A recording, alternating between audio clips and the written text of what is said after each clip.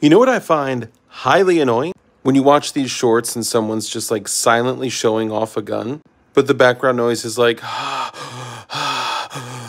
they're breathing all hard and their nose is whistling and shit. I hate that shit.